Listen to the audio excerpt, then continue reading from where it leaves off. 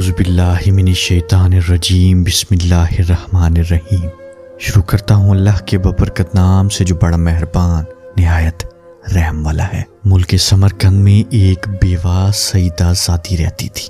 इसके चंद बच्चे भी थे।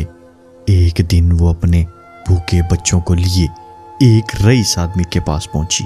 कहा, मैं सईद आज़ादी हूँ, मेरे बच्चे भूखे हैं, इन्हें खाना खिलाओ। वो रईस आदमी जो कि नशे की ताकत में महव था, बराए नाम मुसलमान था, कहने लगा, अगर वाकई सईद आज़ादी हो तो कोई दलील पेश करो। सईद आज़ादी बोली, मैं एक गरीब बेवा हूँ, जबान पर एतबार करो। सईद आज़ादी हूँ, और क्या दलील पेश करूँ? वो बोला, मैं जबानी जमा खर्च पर यकीन नहीं रखता। अगर कोई दलील है तो पेश करो, वरना जाओ। वो शहीद आज़ादी अपने बच्चों को लिए वापस चल पड़ी और एक मजूसी रईस के पास जा पहुँची और अपना किस्सा बयान किया।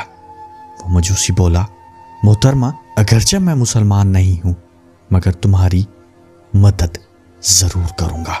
आओ और मेरे हाँ ही कयाम फरमाओ। तुम्हारी रोटी, कपड़े का जामिन मैं हूँ। और अपने यहाँ ठहरा कर उसे और उसके बच्चों को खाना खिलाया। उनकी बड़ी खिदमत की रात हुई तो वो बरए नाम मुसलमान रही सोया। उसने ख्वाब में देखा, हजूर सल्लल्लाहु अलैहि वसल्लम आए, जो एक बहुत बड़े नूरानी महल के पास तशरीफ़ फरमा थे इस रईस ने पूछा, या रसूल अल्लाह ये नूरानी महल किसके लिए है? हजूर ने फरमाया, मुसलमान के लिए। वो बोला, हजूर, मैं भी मुसलमान हूँ, ये मुझे अता फरमा दीजिए। हजूर ने फरमाया, अगर तू मुसलमान है तो अपने इस्लाम की कोई दलील पेश कर। वो रईस ये सुनकर बड़ा घबराया। हजूर ने फिर उसे फरमाया, मेरी बेटी तुम्हारे पास आई।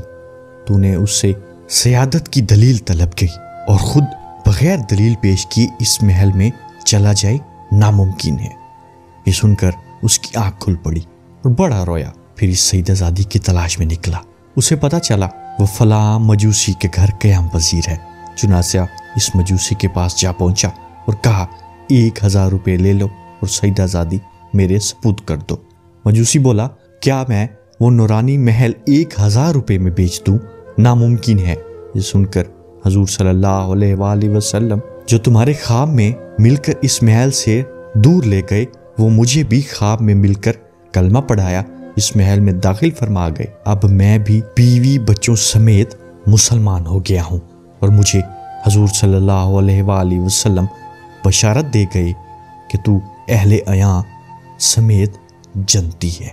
दलील तलब करने वाले बराए ना मुसलमान भी जन्नत से महरूम रह गया और नस्बत रसूल का लिहाज करके बगैर दलील के ताजीम अदब के साथ एक मजूसी भी दौलत ईमान से मुशरफ होकर जन्नत पा गया। मालूम हुआ अदब तज़ीम रसूल के बाब में बात बात पर दलील तलब करने वाले बराए नाम मुसलमान बदबख्त और महरूम रह जाने वाले शख्स हैं।